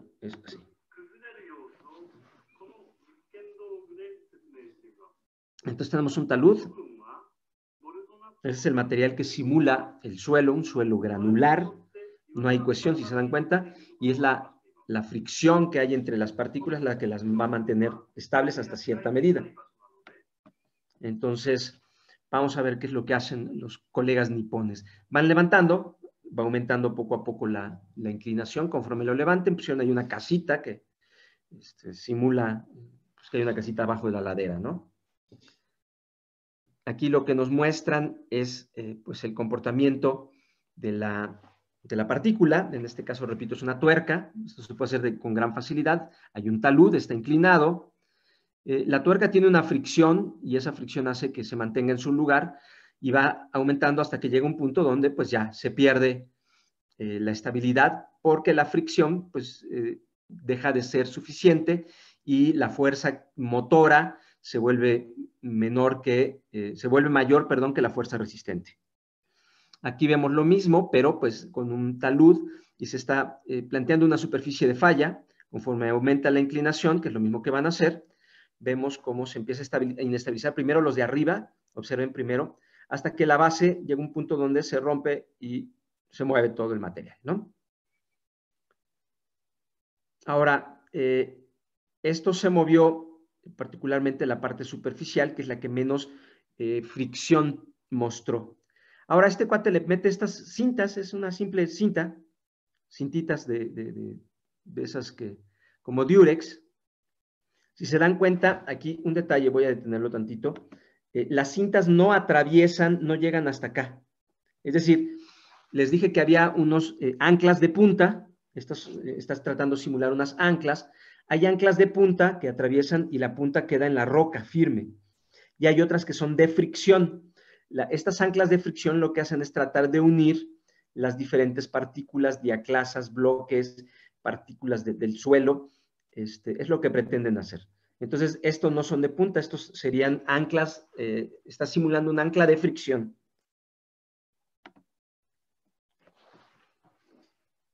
Entonces, eh, ya colocó sus anclas. Las anclas, pues ya lo observamos, no, van así solitas, sino que llevan también una, una losa que las une y las hace trabajar en equipo. Entonces, pues aquí el amigo le sigue colocando anclas y las anclas, si se dan cuenta, no llegan hasta la roca, solamente las coloca sobre las tuercas. Por lo tanto, cuando lo coloca sobre las tuercas nada más, se denominan anclas de fricción. Cuando atraviesas a un estrato más resistente, se llaman anclas de punta. Eso es por pura cultura general. Entonces vemos que empieza a levantar, levanta, levanta, como que se tratan de acomodar, empiezan a transferir parte de la carga hacia las anclas. Las anclas ahí se dan cuenta, están un poco como se empiezan a deformar un poquito, pero una vez que agarraron su carga, pues ahí se mantuvieron, ¿no? Entonces, eh, este es un ejemplo de cómo en este tipo de materiales podemos usar anclas también. Ahora, vamos a ver un segundo video. Me parece que aquí es donde entra el segundo video eh, de Senapred. Ah, no, es, es este. Déjenme ver, aquí donde me quedé. Este es el mismo. No. Vámonos. estos ya los habíamos visto, los pasamos rápido. Este, son eh, en modelos de arena, eh, deslizamientos traslacionales, ¿no?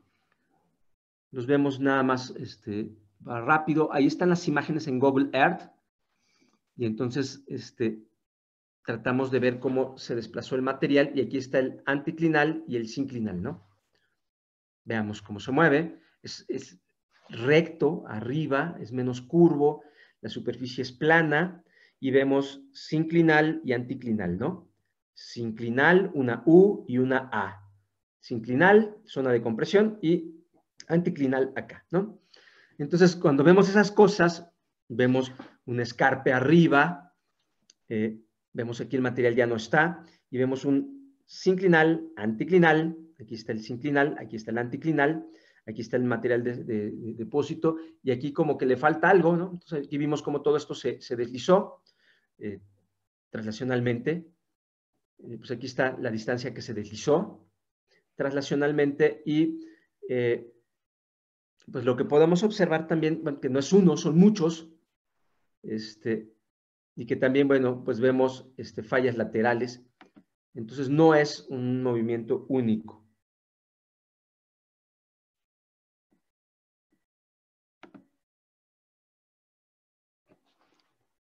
Entonces vemos que ocurren muchos y que estos sitios, por ejemplo aquí en el sinclinal, se puede acumular agua después. Aquí vemos nuevamente, eh, es menos recto, el, escarpe es menos recto y vemos cómo se deslizó una distancia considerable.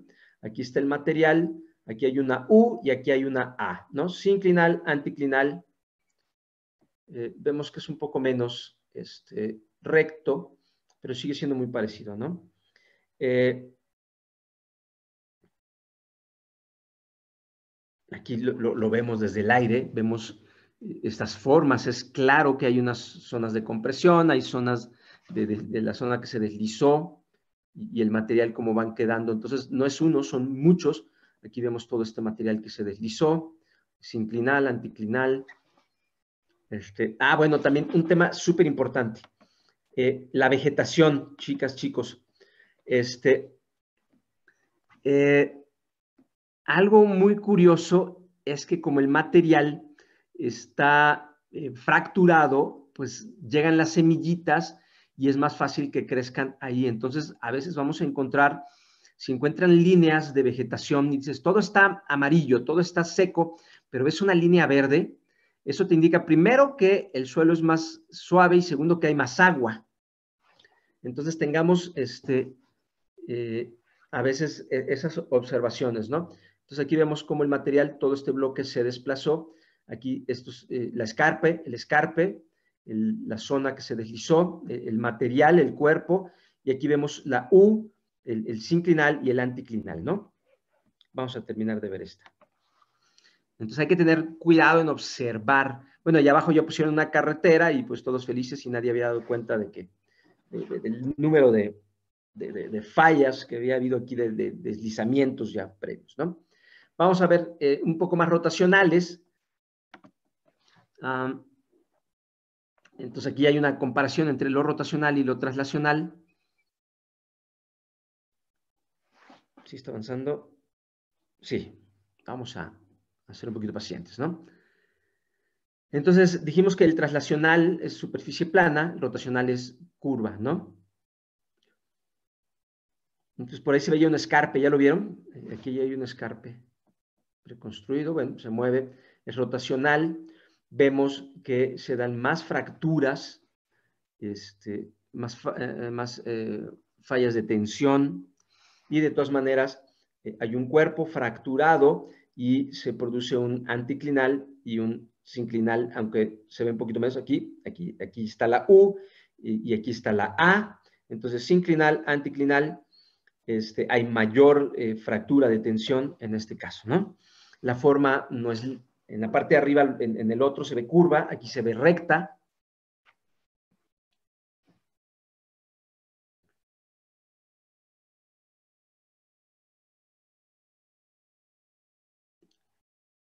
Y bueno, aquí este, ya cuando te pones a, revisarlos a detalle, pues puedes encontrar que hay muchos y que pues todos ellos tienen finalmente eh, sinclinal, anticlinal, ¿no? Aquí está el material depositado, sinclinal, anticlinal, este, las fracturas laterales, el material queda aquí desagregado, o sea, es lanzado.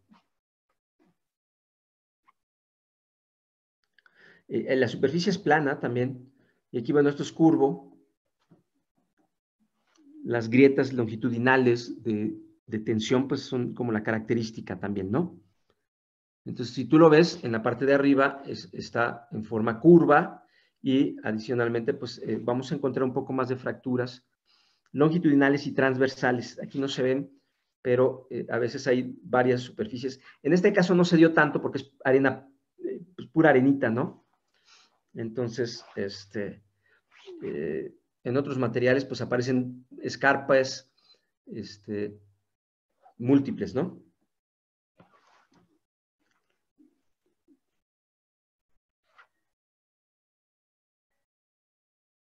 Sí, ahí se ve como eh, que no pasó nada aquí, ¿no? Lo plano se ve. Entonces, cuando es traslacional, la superficie queda menos dañada. Cuando es rotacional, aquí se ve combinado. Entonces, bueno, aquí vemos eh, fracturamiento transversal y, bueno, también tiene forma de cuña. Es decir, bien lo decían hace rato, los movimientos complejos llegan a ser eh, pues más comunes, ¿no? Este, lo habitual es que no ocurra de una manera tan, tan directa, ¿no? Nuevamente vemos arriba, curvo, este, fallas de tensión en, el cuerpo, no está tan plano. Este, y bueno, eh, vemos sinclinal, anticlinal, y bueno, aquí la punta quedó desagregada, ¿no? Es decir, en, la punta se reventó y salió desagregándose. Aquí veamos rápidamente este otro que teníamos también preparado. Entonces, nuevamente, eh, la importancia del LIDAR, que a veces la vegetación nos cubre, no nos deja ver lo que hay abajo, entonces, cuando haces un modelo eh, del terreno, un modelo digital del terreno, puedes encontrar todo esto. Aquí no se ve con claridad, es muy difícil encontrar qué, ocurre por debajo de estos, árboles. Eh, ya cuando le quitas eh, los árboles con un modelo digital, pues te encuentras con que ahí abajo había este, pues una, un movimiento o dos movimientos al parecer, pueden ser dos rotacionales, o un traslacional, habría que verlo con más detalle, pero bueno, eh, las herramientas de LIDAR son muy, muy útiles para poder eh, identificar, ¿no? Entonces aquí hablan de que es traslacional, entonces ahí se ve cómo se desliza, escarpe arriba, aquí pues no fue tan traslacional, aquí vemos, este, efectivamente hay algunas fracturas porque este material aquí se atoró, entonces aquí se detuvo el material y eso hizo que eh, al detenerse aquí pues fracturó es decir, no se movió todo recto. Entonces aquí también se ve que se detuvo y es muy probable que encuentren este, algunas fracturas, ¿no?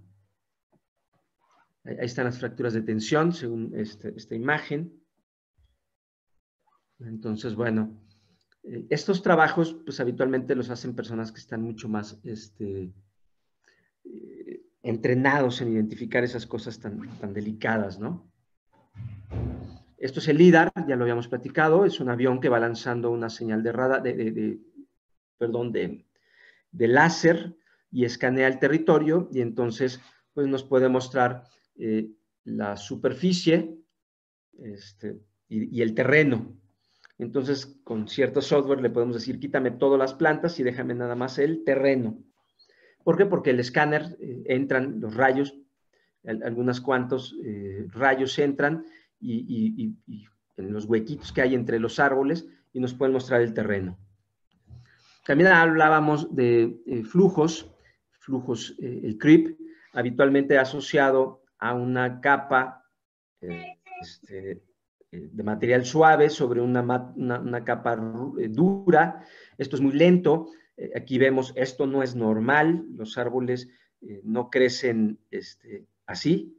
Entonces, este árbol conforme se fue moviendo, eh, iba a estar así, pero el árbol se fue enderezando solito. y, aquí lo vemos, este, árboles así, perpendiculares a la superficie, no son normales. Los árboles crecen rectos, así como está la, línea azul, así crecen los árboles. Pero entonces cuando los encuentras perpendiculares a la, superficie, pues eso te indica que eh, seguramente hay un movimiento. Y esto va a ocurrir en postes, en árboles, son señales que nos pueden ayudar a reconocer. Y aquí nuevamente vemos cómo este material pues detuvo el flujo y lo deformó. Los flujos eh, de lodo este, llegan a ser los más peligrosos de todos, ya los dijimos. Y hace ratito eh, la maestra Munibe nos decía que aquí primero hubo una falla rotacional y que después se fue acumulando, acumulando hasta que el material fluyó. Y aquí vemos, yo les decía que previamente había aquí un sinclinal, anticlinal, esta montañita que vemos aquí, es muy probable que todo esto fuera parte de este, un este, deslizamiento previo. Eh, no sé si rotacional o traslacional, no, no, tenemos toda la imagen. Y además los árboles de repente no nos dejan ver. A lo mejor una imagen LIDAR nos podría haber mostrado con claridad este, de qué tamaño era la, la, el deslizamiento previo. Y eh, lo que sí es que eh, queda claro que aquí se, ve la, U, tan es así que se formó un charco, y la A. Entonces es muy probable que aquí ya tuviéramos esto. Entonces, cuando tienes el ojo un poco más entrenado, pues te das cuenta de esas cosas que pudieran ser muy importantes, ¿no? Y bueno, ya hemos mostrado esto que eh, la energía depende del material, que, qué velocidad alcance. Eh, puede ser que tenga una velocidad baja, eh, en una velocidad intermedia. El color nos indica la, velocidad, entonces vemos cómo el impacto puede ser mayor y esto particularmente nos lo va a dar el tipo de suelo. Si es arena limo muy saturada, que contiene mucha humedad, entonces eh, tendremos el impacto. Y este es el tercero. El tercero nos muestra un material que fluye a mayor velocidad, con mayor facilidad, y se ve más rojizo y, por supuesto, los daños llegan a ser mayores. Aquí vemos otro ejemplo. Eh, ¿Qué pasa si tenemos infraestructura y le colocamos un muro? Aquí vemos cómo viene el flujo. Originalmente el muro funciona desviando lateralmente, pero la presión llega a ser mayor y literalmente empuja el muro. Los flujos son muy destructivos, entonces si hay condiciones de flujo, lo que se tiene que hacer es trabajar ladera arriba haciendo varias técnicas como drenes, eh, como protección para que el agua, eh, canaletas allá arriba, anclas, no sé, hay varias técnicas, porque si tú colocas eh, la protección hasta abajo, en vez de hacer el trabajo realmente en la ladera, las probabilidades de que tu muro sea superado y sea colapsado, como lo vemos aquí, pues son muy altas, ¿no? La, la energía pues depende de cuánta humedad sea la que eh, obtenga el, material, alcance el material. Y, bueno, aquí esto lo que nos muestra es que es, a veces difícil hacer este tipo de acciones. Aquí vemos otro ejemplo, eh, es una gotita, aquí tenemos una topografía, aquí tenemos árboles, y aquí, bueno, nuevamente alguien dice, bueno, pongamos un muro como protección. En vez de trabajar acá arriba, aquí se ve claramente, hay una curva, eh, Posiblemente esto ya fue un deslizamiento previo. Acá observen ustedes, eh, la gente fina, como ustedes ya notará que hay una U y hay una A. Entonces es probable que este sitio ya haya tenido un deslizamiento. Eh, habría que leerlo por varios lados, pero, pero la forma es muy, eh, muy conocida para nosotros, ¿no? Una forma curva, pudiera haber ocurrido un deslizamiento de tipo rotacional por lo curvo y a lo mejor ya hubo flujos antes, ¿no? Entonces, veamos qué pasa con esto. Y además, cuando vemos en la base, pues encontramos esta U y esta A. Entonces, esto podría ser un área de depósito, tendríamos que revisarlo, pero bueno, la forma nos ayuda a entender cosas. Entonces, aquí vemos cómo baja el flujo, eh, la barrera es superada, en este caso no la rompe, simplemente la pasa por arriba. Este, y, bueno, lo que queríamos proteger eh, queda el material, observen nuevamente cómo se derrama el material, pero muy curioso porque queda en esta forma de U, si recordamos Angangueo, ¿dónde se acumuló el material? No hay que ser unos genios para recordar dónde, dónde fue que el material acumuló. Entonces, estos son detalles finos que este, muchos ingenieros ni siquiera los, podrían identificar con facilidad. ¿no? Entonces, eh, vamos más adelante y veamos otro video de Senapred, me parece que es este, para completar un poquito nuestras ideas sobre este tema.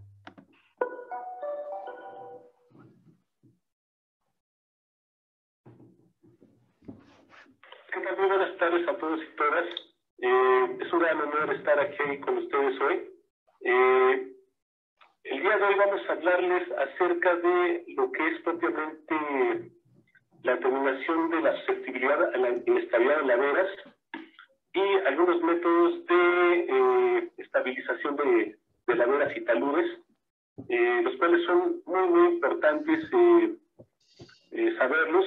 Desde luego, como ya mencionó Michelle, la inestabilidad de laderas es un fenómeno muy recurrente en nuestro país es un fenómeno que año con año cobra vidas en diversas regiones eh, montañosas y por supuesto tenemos que ponerle una gran atención.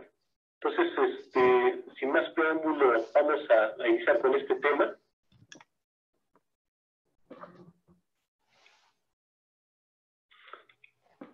Ok, la inestabilidad, la inestabilidad de laderas podemos entenderla como un fenómeno en el cual eh, hay una combinación de factores. Entonces, hay diferentes factores, eh, tanto humanos, es decir, antropogénicos, climáticos, geológicos, hidrológicos y geomorfológicos.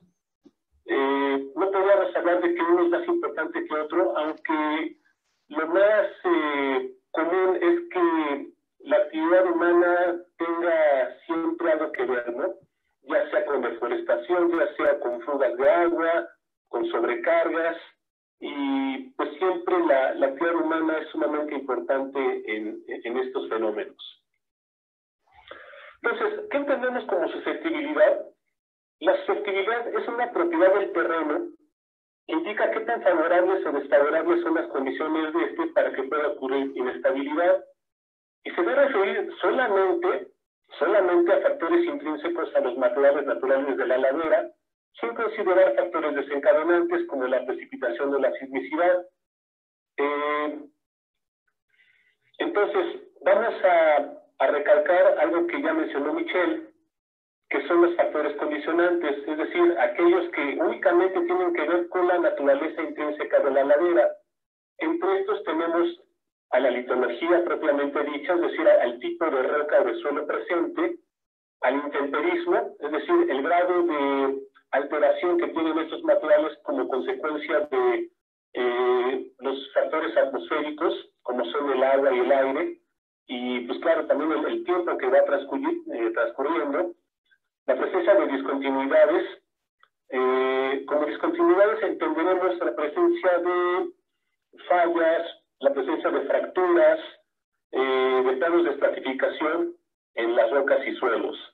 La pendiente del terreno, es decir, el grado de inclinación que tienen eh, las laderas o los taludes, las condiciones hidrológicas, es decir, la presencia de agua, y el uso de suelo que se le dé a la ladera o talud, puede ser eh, que sean zonas de cultivo, que sean eh, zonas donde se hayan establecido ciudades, poblados, eh, pueden ser zonas boscosas, etc. Entonces, la susceptibilidad va a ser diferente al peligro. El peligro se define básicamente como la probabilidad o frecuencia de ocurrencia de un proceso de un nivel de intensidad o severidad determinado dentro de un periodo de tiempo dado y dentro de un área específica. Es decir, en el peligro o en un análisis de peligrosidad, básicamente vamos a tener los factores desencadenantes.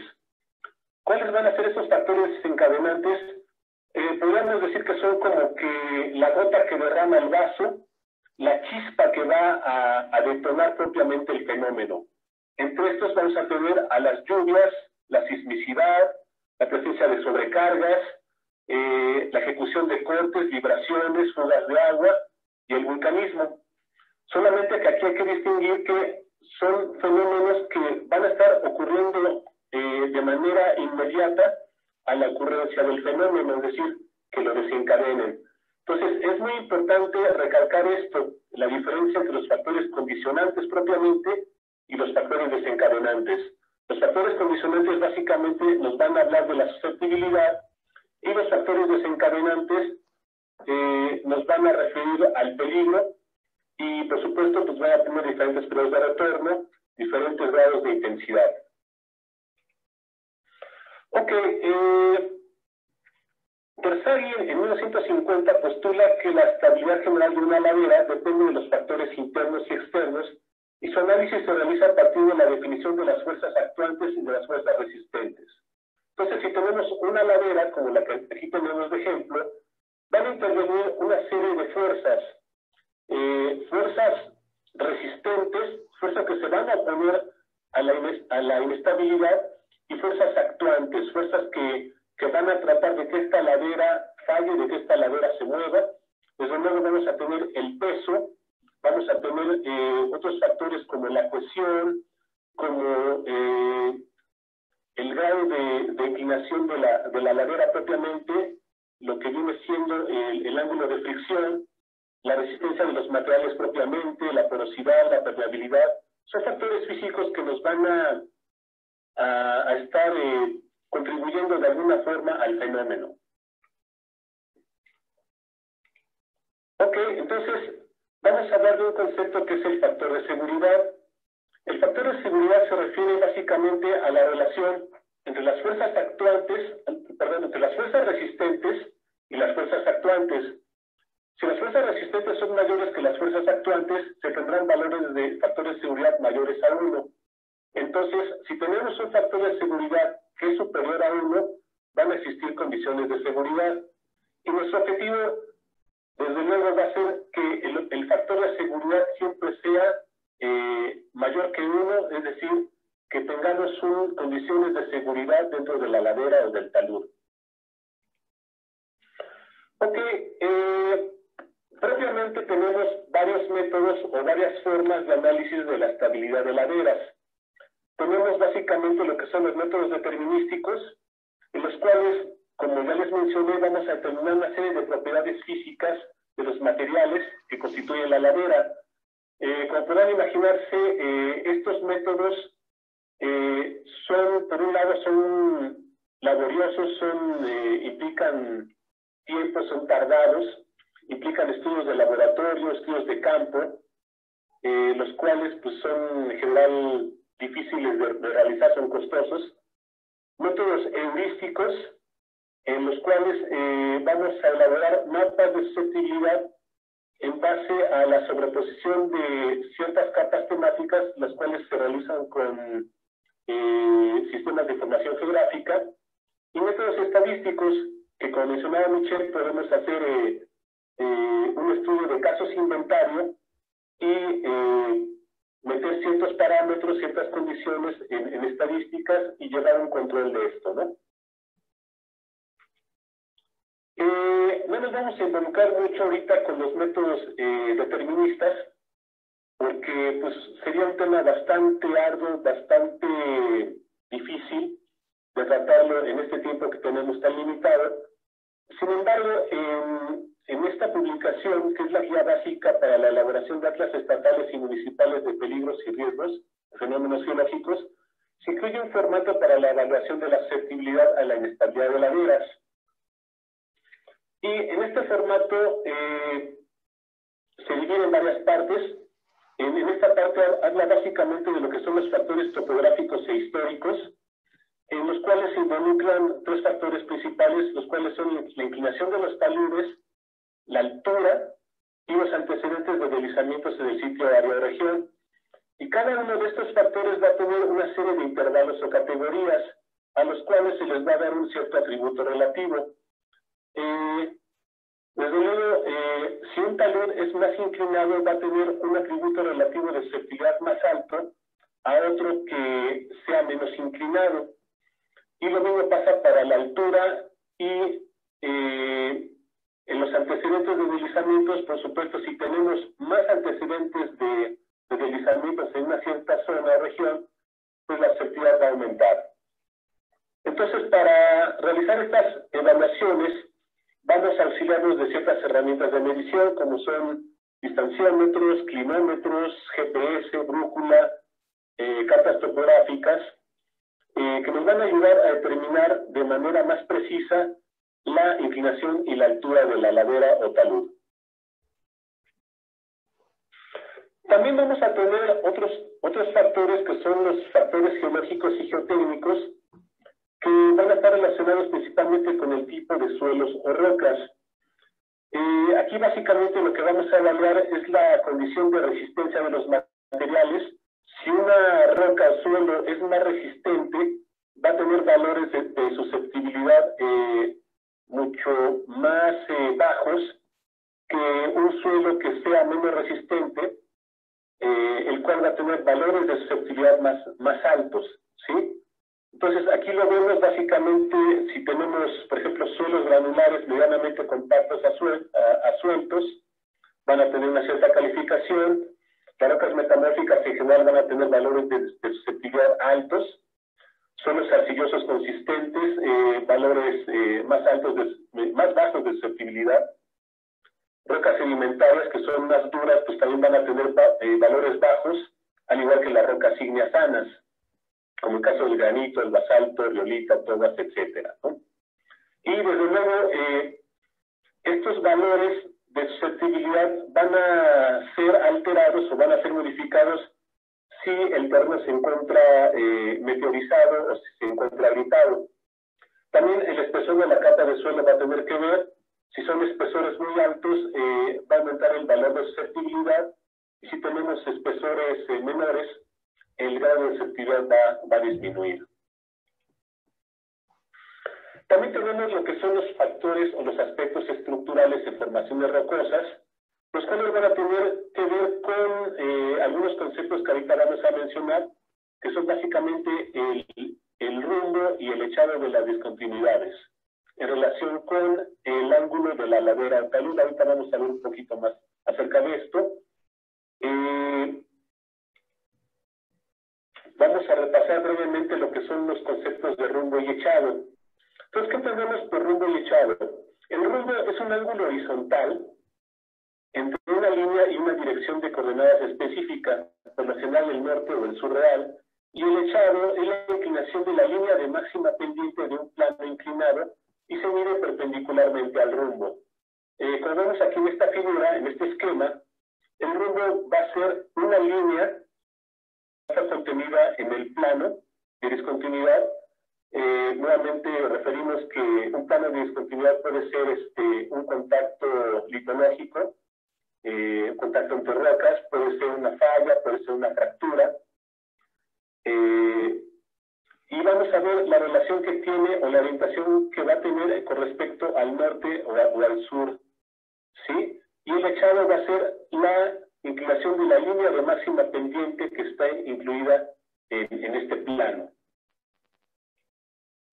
Entonces, eh, aquí vemos una ilustración de lo que es el rumbo y el echado plano, el rumbo va a ser la orientación de la línea horizontal que esté contenida en el plano, ¿sí? Y el echado va a ser la inclinación de esa línea y va a ser perpendicular al rumbo. Y bueno, esta es la manera en la que se representa. Este, este vendría siendo el, echado de 30 grados y este vendría siendo el rumbo sur de 25 grados. Eh, otro aspecto que maneja, que se maneja en el formato es la diferencia que hay entre el ángulo de la ladera o talud y el ángulo de la discontinuidad. Entonces, vas a tener básicamente dos casos. Si el ángulo es, eh, si el ángulo de la, de la discontinuidad es mayor que el ángulo de la, de la ladera o talud, el ángulo va a ser positivo. Y si tenemos que el ángulo de la, o el echado de la discontinuidad es menor que el ángulo de, de la ladera o talud, la diferencia entre ambos va a ser un ángulo negativo. ¿Sí? Eh, algunos ejemplos de esto, eh, bueno, tenemos aquí este caso. vemos que existe este plano de discontinuidad que tenemos aquí en medio, el cual básicamente eh, es prácticamente vertical, ¿no? Si, si lo vemos, eh, básicamente aquí, este, esta discontinuidad va a tener una orientación que va a ser muy similar a la de la, a la, de la ladera o talud, y en este caso es muy importante recalcar una cosa, si el, rumbo de la discontinuidad o la orientación que tiene la, discontinuidad coincide con el ángulo de la ladera, eh, esta va a ser mucho más susceptible a la, inestabilidad, ¿sí? esto es básicamente lo que queremos demostrar aquí o lo que queremos mostrarles. Podemos tener otros casos. Por ejemplo, en esta imagen que tenemos en la parte inferior izquierda, tenemos una serie de capas una serie de capas de rocas eh, calizas y lutitas, y vemos que estas capas en realidad tienen una inclinación hacia la derecha, que es opuesta a la inclinación que tiene la, ladera. ¿sí? En, este caso vemos otro plano de discontinuidad, en este caso son, son lutitas. Vemos en este caso que tenemos a la derecha, eh, tenemos calizas, ¿sí? Vemos que hay una, un cierto plano de, de orientación de la discontinuidad, plano de estratificación. Este es un caso en la ciudad de San Luis Potosí. Vemos que eh, tenemos calizas y las calizas básicamente van a, o tienen una tendencia a coincidir con el, con el plano de, de, o con la inclinación del talud. Entonces, esto aumenta la susceptibilidad considerablemente de la ladera. ¿sí? Entonces, es básicamente lo que queremos ilustrar con esto. Mientras el plano de la discontinuidad coincide con la orientación de la ladera al talud, la susceptibilidad va a ser mucho mayor, a diferencia de que no coincidan estos entre sí. Tenemos también un tercer grupo de factores, que vienen siendo los factores geomorfológicos y ambientales. Entonces, entre estos factores tenemos las evidencias geomorfológicas de huecos en laderas contiguas, es decir, la ocurrencia anterior de, fenómenos, y por supuesto, si tenemos grandes volúmenes faltantes, pues vamos a tener un grado o un atributo de, de mucho más alto a que si tenemos volúmenes moderados o inexistentes. La presencia de, bueno, la, lo que viene siendo el factor de vegetación y uso de la tierra, si tenemos zonas urbanas, esas van a tener un atributo relativo mucho más alto que a zonas que se encuentran, eh, eh, ¿cómo se llaman? Donde la, vegetación es intensa, ¿sí? Donde tenemos cultivos anuales van a tener también factores o valores de fertilidad mucho más elevados. Si tenemos rocas con raíces en las fracturas, pues también vamos a tener valores de fertilidad altos. Y si la zona eh, ha sido deforestada, pues básicamente tendremos también valores altos de susceptibilidad. Y también vamos a evaluar el régimen del agua en la ladera. Si tenemos eh, un régimen, un nivel frático superficial, vamos a tener valores mucho más altos que si tenemos niveles fráticos inexistentes. La sumatoria de todos estos eh, factores, de todas estas evaluaciones, nos va a dar un, una suma y nos va a dar un determinada, una, un grado de seguridad determinado, ¿sí? Básicamente, eh, este formato es muy útil. Es un formato que elaboró un investigador colombiano llamado Suárez eh, y es muy aplicable principalmente a regiones tropicales. Bueno, eh, ya mencionó Michelle anteriormente algo de los síntomas, no me voy a detener mucho en esto, y son básicamente rasgos o señales que nos indican que algo está ocurriendo en, la ladera, es decir, que hay un proceso de inestabilidad incipiente. Y eh, vamos a, determinar ciertas manifestaciones en el terreno, como pueden ser eh, la presencia de agrietamientos, depresiones, expansiones, rotura de pavimentos, inclinación de árboles y cercas, eh, ciertos temblores o ciertos movimientos que pueden ser perceptibles, eh, todos estos síntomas nos van a ayudar a determinar que ya el proceso de inestabilidad se ha iniciado en la ladera y por ende, eh, pues se van encendiendo como que los focos rojos, ¿no? Es decir, una ladera no falla de la noche a la mañana, no hay, eh, eh, o sea, afortunadamente es un fenómeno que de alguna manera nos va avisando si hay un proceso de, inestabilidad. Por supuesto, a medida que vaya pasando el tiempo, pues e, existen más, más, posibilidades de que pueda haber un colapso súbito o algo que pueda poner en riesgo tanto a las viviendas, a, la infraestructura presente como a, las vidas de las personas.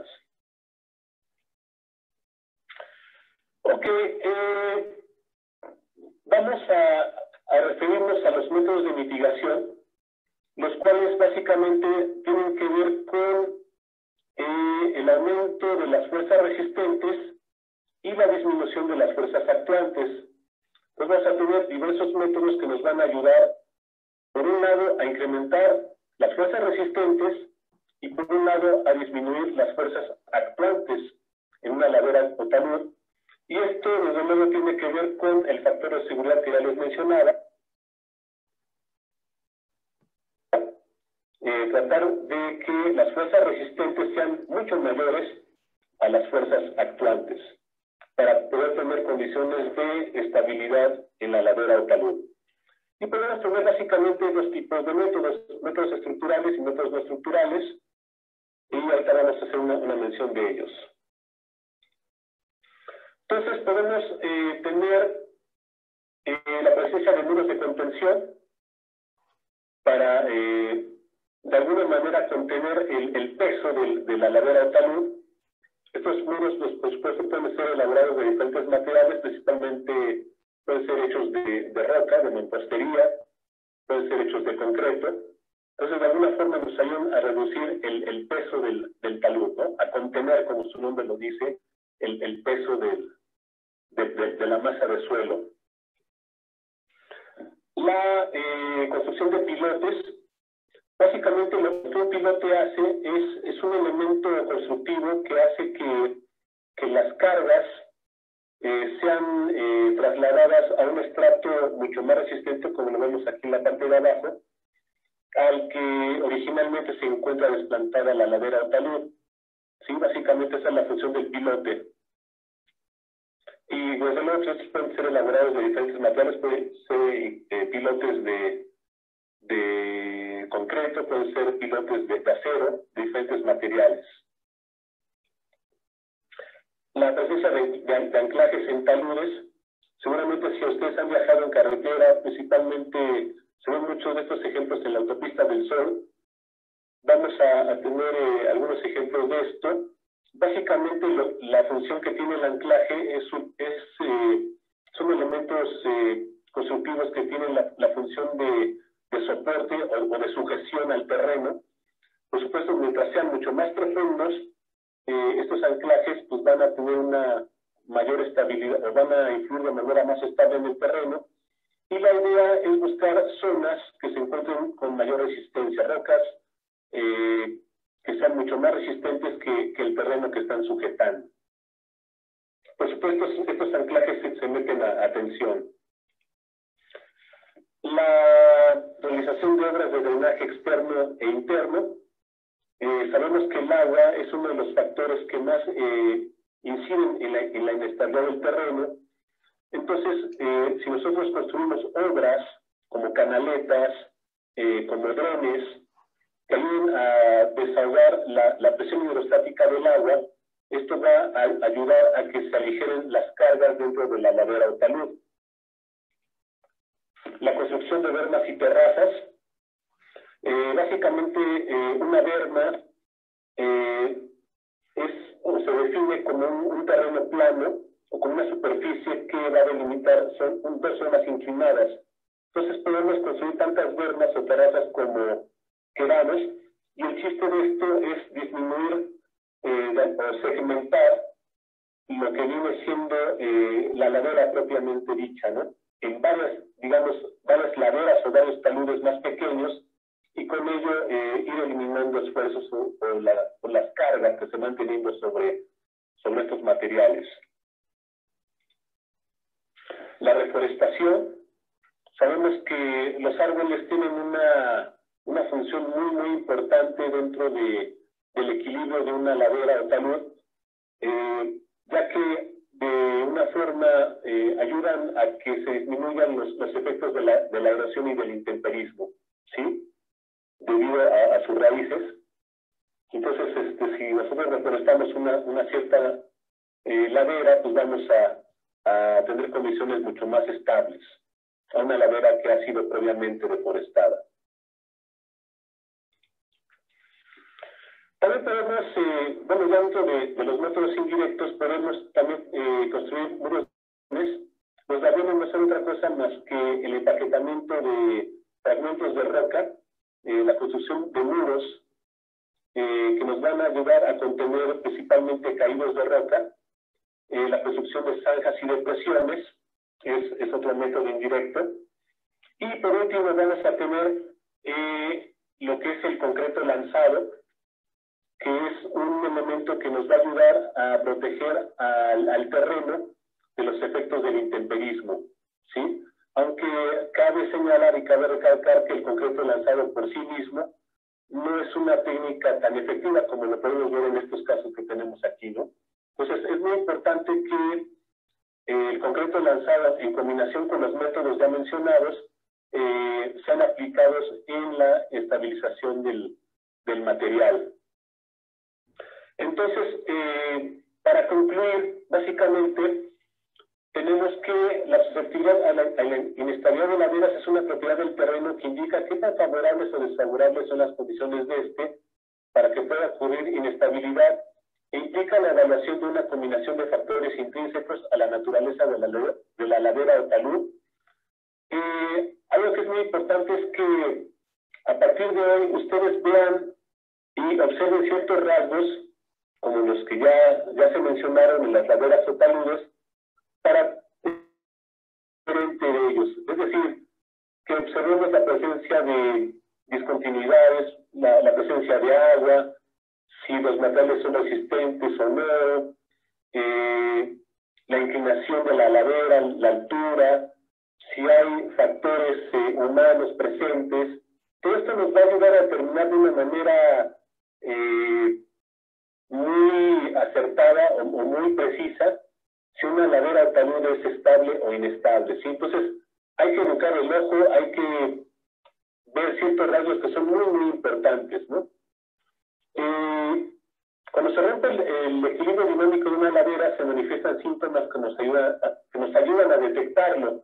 Es decir, eh, una ladera no se desliza así de la noche a la mañana, sino que hay ciertos factores, ciertos indicios, ciertos síntomas que nos van indicando que el proceso ya se está manifestando que existen eh, condiciones muy, muy importantes para que pueda haber un colapso de manera súbita, ¿sí?